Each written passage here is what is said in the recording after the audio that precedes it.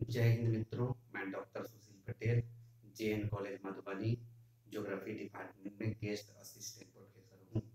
आज हम आप लोगों को एक मानक अक्षांश वाली शंकु प्रक्षेप की रचना विधि को बताने जा रहे हैं, जिसका क्वेश्चन जो है आपको ब्लैक बोर्ड पे है। देखिए, यहाँ पे निम्नलिखित आंकड़ों के सहायता से एक मानक अक्षांश वाला शंकु प्रक्षेप की रचना कीजिए। यानी कुछ आंकड़ा दिया गया है, उसके आधार पे एक मानक अक्षांश वाला शंकु प्रक्षेप की रचना करना है, जिसमें मापनी दिया गया है वन अनुपात वन हंड्रेड ट्वेंटी मिलियन मानक अक्षांश जो है पैंतालीस डिग्री उत्तर। क्षेत्र का विस्तार ज़ीरो से पचहत्तर डिग्री उत्तरी अक्षांश तथा पचहत्तर डिग्री पश्चिम से पचहत्तर डिग्री पूर्वी देशांतर। और अंतराल जो है पंद्रह यानी कि क्वेश्चन में जो देख लिए कि आपका क्या है? क्षेत्र का विस्तार पचहत्तर डिग्री पश्चिम से पचहत्तर डिग्री पूर्वी देशांतर। और अंतराल पंद्रह है। तो सबसे फ़र्स्ट टाइम क्या करते हैं? किसी भी प्रक्षेप की रचना के लिए। उस हाँ, पृथ्वी तो बहुत बड़ी है। तो पृथ्वी उतने बड़े तो कागज़ हम ला नहीं सकते हैं। तो इसके लिए करते हैं कि लघुकृत यानी उसकी मापनी के आधार पर यानी जो इसमें स्केल दी गई है उसके सहायता से हम उसकी त्रिज्या को रेड्यूस कर लेते हैं। तो इसको निकालने के लिए है लघुकृत पृथ्वी की त्रिज्या। या प्रक्षेप की त्रिज्या कहें लिखेंगे जो आर है तो तो उसको निकालने के लिए फॉर्मूला होता है पृथ्वी की वास्तविक त्रिज्या बटा दी गई मापनी का हर। तो पृथ्वी की वास्तविक त्रिज्या जो है कि सेंटीमीटर में अगर हम लिखते हैं तो 635 मिलियन सेंटीमीटर तो हमने यहाँ six hundred thirty five million centimetre लिख दिए और दी गई मापनी का हर जो है वन हंड्रेड ट्वेंटी मिलियन है। तो वन हंड्रेड ट्वेंटी मिलियन दे दिए। अब इसको डिवाइड करने पे जो आया कि वो five point two nine centimetre अब five point two nine centimetre त्रिज्या लेकर हम एक प्रक्षेप की रचना करेंगे। तो इसका फ़र्स्ट विधि जो फ़र्स्ट मेथड जो है, कि 5.29 सेंटीमीटर यानी 5.3 सेंटीमीटर भी लिख सकते हैं। तो 5.3 सेंटीमीटर का एक सरल रेखा ए बी खींचे यानी देख रहे हैं कि एक 5.3 सेंटीमीटर का एक सरल रेखा ए बी रेखा को खींच दिए। अब इस ए बी रेखा को आधार मानकर, यानी इस ए बी रेखा को आधार मानकर एक केंद्र बिंदु से क्या किए कि एक वृत्त का चतुर्थांश खींचे, जो कि ए जो कि इस सी बिंदु पे काटती है। अब इस चतुर्थांश पे क्या करते हैं कि 90 डिग्री के एंगल बनाते हैं। तो यानी कि यह हो गया कि कोण जो देख रहे हैं यानी 90 का जो कोण बना वो बन गया C A C A B is equal to 90 degree. यानी कि देखिए C A B is equal to यह कोण जो बनाती है 90 डिग्री एंगल का। अब यहाँ पे क्या है कि इसके आधार पे हम क्या करते हैं कि अब यहाँ पे जो इस क्वेश्चन में जो दिया गया है, पंद्रह डिग्री अंतराल। तो पंद्रह डिग्री अंतराल को ए बी को आधार रेखा मानकर बी बिंदु से पे ए बी पे क्या किए कि एक पंद्रह डिग्री का कोण बनाए। तो चाँद की सहायता से, यानी चाँद की सहायता से क्या कर दिए कि एक पंद्रह डिग्री का कोण बना लीजिएगा ए बी रेखा पे। तो यानी कि यह कोण जो है कि डी बिंदु पे जो काटी तो यानी यह पंद्रह डिग्री जो हो गया, कोण D A B D A B is equal to पंद्रह डिग्री। यानी देखिए कोण D A B is equal to पंद्रह डिग्री है। अब क्या करते हैं कि इसके बाद जो आपके प्रक्षेप में मानक अक्षांश है, यानी इस प्रक्षेप में जो देखते हैं कि मानक अक्षांश 45 डिग्री उत्तर है तो 45 डिग्री, यानी ए बी रेखा को आधार लेते हुए चाँद की सहायता से ए बी रेखा पे 45 डिग्री का कोण बना लेते हैं। तो यहाँ पे क्या किए कि जो कट गई, यहाँ पे तो E A B is equal to पैंतालीस डिग्री यानी कि कौन? कौन? E A B is equal to forty five degree जो कि आपने ये देखा कि यह कोण जो है कि क्या फोर्टी फाइव डिग्री अब इसके बाद इसको क्या किया जाता है कि आपने डिवाइडर पे डिवाइडर यानी डिवाइडर पे क्या कीजिएगा कंपास से आप बी डी रेखा को बी डी रेखा को कंपास में माप लीजिएगा। बीडी दूरी बराबर माप के क्या करते हैं? एक केंद्र से। यानी एक केंद्र से क्या करेंगे कि एक जो है वृत्त की चतुर्थांश खींच देंगे बीडी के बराबर। यानी यह बीडी रेखा के बराबर जो क्या है कि ए से जो इसको खींच दिए तो इसको जो है कि यहाँ काट दी और इसको यहाँ काटी। तो एक हो गई, बीडी रेखा के बराबर खींच देते हैं। अब क्या करेंगे कि इसके बाद ए, ई यानी ए, ई रेखा को आधार लेकर, ए, ई रेखा को आधार मानकर, ई बिंदु पे 90 डिग्री का कोण बनाते हैं। तो यानी कि यहाँ जो यह देख रहे हैं कि यह 90 डिग्री का कोण है। यानी यह कोण कौन सा कोण? तो यहाँ देखते हैं A, E, P, A, E, P. यानी angle A, E, P. Equal to 90 degree का कोण बना। यानी A E P equal to 90 degree कोण हो गई। अब इसको क्या करते हैं कि इतना फ़र्स्ट स्टेप जो है फ़र्स्ट स्टेप का काम खत्म हो गई। अब अब सेकेंड स्टेप पे चलेंगे। तो सेकेंड स्टेप पे क्या करते हैं कि एक सरल रेखा, यानी नॉर्थ से साउथ डायरेक्शन में एक सरल रेखा, सीधी रेखा खींच देते हैं। सीधी रेखा खींच देने के बाद क्या करते हैं कि यह पी से ई दूरी को माप लेते हैं, यानी अपने डिवाइड कंपास में पी ई दूरी के बराबर, यानी पी ई दूरी को मापते हैं और इसके जो नॉर्थ पॉइंट से, यानी कि ऊपर वाली जो नॉर्थ पॉइंट है, उस नॉर्थ पॉइंट से पीई दूरी के बराबर यानी एक अर्धवृत्त खींच लेते हैं, यानी इसको इस प्रकार से एक अर्धवृत्त खींच लेंगे। तो यानी वाले जो जहाँ से अर्धवृत्त खींचेंगे, उसको क्या करेंगे कि इसको पी लिखेंगे। और जहाँ यह खींची अर्धवृत्त खींची गई है, वह आपको इस प्रक्षेप में 45 डिग्री अक्षांश वृत्त को इंडिकेट करेगी। तो यानी कि यहाँ से यह खींच दी गई है। यह जो देख रहे हैं कि जो खींची गई है, यह 45 डिग्री अक्षांश वृत्त को प्रदर्शित करती है और यह जो इसका मानक अक्षांश है। अब इस 45 डिग्री अक्षांश वृत्त क्या करते हैं? बीडी दूरी के बराबर, यानी कि अपने डिवाइड प्रकाल में क्या करते हैं कि बीडी दूरी के बराबर दूरी को माप लेते हैं। और 45 डिग्री से क्या करते हैं कि एक बार ऊपर के तरफ़ चलिएगा तो 15 बढ़ेगी। यानी कि जो 15 का कोण है तो 15 बढ़ेगी। तो 45 और 15 जो है कि 60 हो जाएगी, और 60 से एक और बार काट देंगे तो 75 हो जाएगी। और दूसरा जो है कि फिर नीचे के तरफ़ चलेंगे, यानी साउथ डायरेक्शन में। तो 45 से 15 माइनस करेंगे तो 30 हो जाएगा। 30 से 15 करेंगे तो 15 और 15 से 15 माइनस करेंगे तो ज़ीरो। जो कि आपने यहाँ देखा है कि क्वेश्चन में कह रहा है ज़ीरो डिग्री से पचहत्तर डिग्री अक्षांश वृत्त। तो आप देखिए कि यहाँ ज़ीरो से पचहत्तर डिग्री अक्षांश वृत्त की काट दिया गया। यह जो है कट गई। अब क्या करते हैं कि P डैश केंद्र से प्रत्येक जितनी कटी है, उस से क्या करते हैं कि एक अर्धवृत्त खींच देते हैं प्रत्येक पॉइंट से। जितनी कट गई तो इस प्रकार से अर्धवृत्त खींचे। यहाँ से अर्धवृत्त खींच दिए। फिर बढ़ा के यहाँ से अर्धवृत्त खिंचाया फिर यहाँ से खिंचा जाएगी और फिर यहाँ से यानी सभी अक्षांश वृत्त को क्या करते हैं? पी डैश से ही अर्धवृत्त खींचते हैं। तो यानी पचहत्तर, साठ, तीस, पंद्रह, ज़ीरो डिग्री अक्षांश वृत्त का पी डैश से एक अर्धवृत्त खींच दी गई। अब इसके बाद जो है कि आप अपने डिवाइडर में एच आई दूरी के बराबर माप लीजिएगा। यानी एच और आई दूरी जो इस पे, इस केंद्र से जो लंब डाली गई है तो इस लंब को माप लेते हैं एच आई दूरी को माप लेते हैं। और एच आई दूरी जो है कि यानी कि यह जो देखे कि यहाँ से यहाँ इस पे जो लंब डाली गई थी, उस दूरी को क्या करते हैं कि डिवाइडर में माप कर और यहाँ क्या करेंगे कि यानी पचहत्तर डिग्री से पचहत्तर डिग्री पचहत्तर डिग्री पश्चिम से पचहत्तर डिग्री पूर्वी देशांतर के बीच है तो इसको आप देखिएगा पंद्रह पंद्रह के इंटरवल में तो ग्यारह हो जाती है। यानी ग्यारह देशांतर रेखा होगी।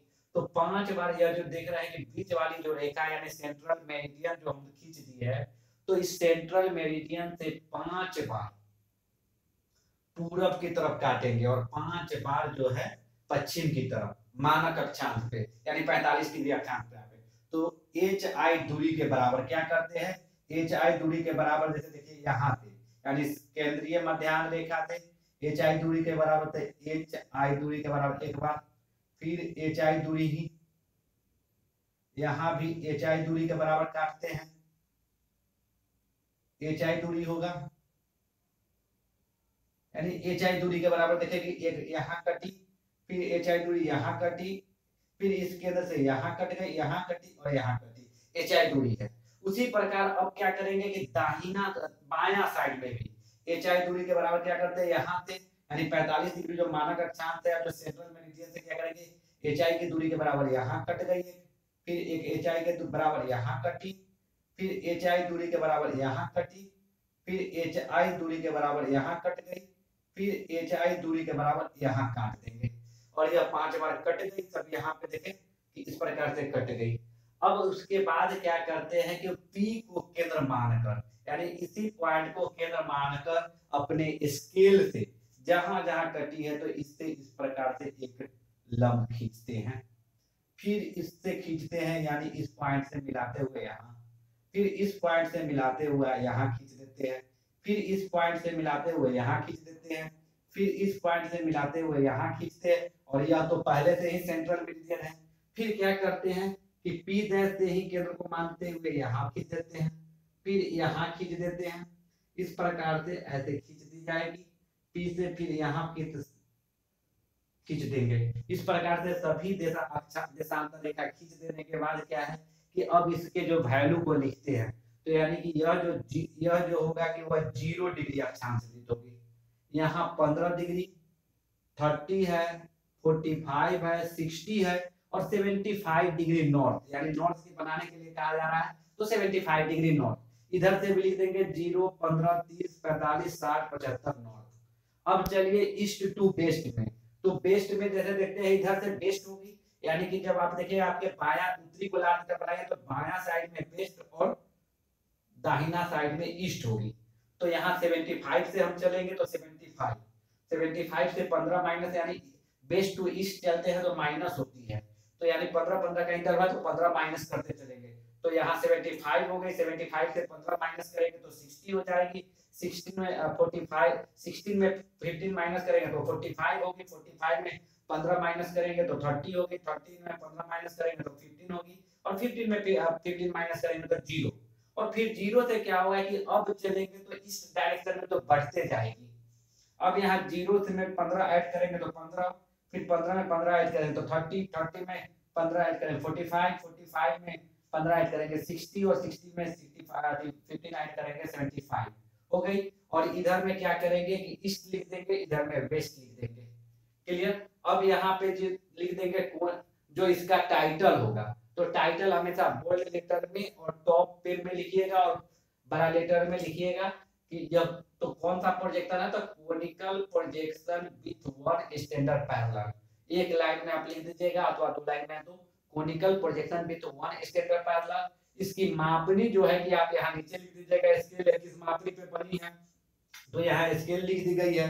अब देखिए, इसको हम बनाते कैसे हैं और इसकी पहचान क्या है, और इसका गुण धर्म क्या है, और और इसका उपयोग कैसे करते हैं। तो देखिए, इसकी पहचान है कि समस्त अक्षांश वृत्त, शंकु के शीर्ष के केंद्र मानकर खींचे गए संकेंद्रीय वृत्त के चाप होती है। देखिए, इसी केंद्र से सभी अक्षांश वृत्त को खींची गई तो उसी चीज़ को कहा जा रहा है।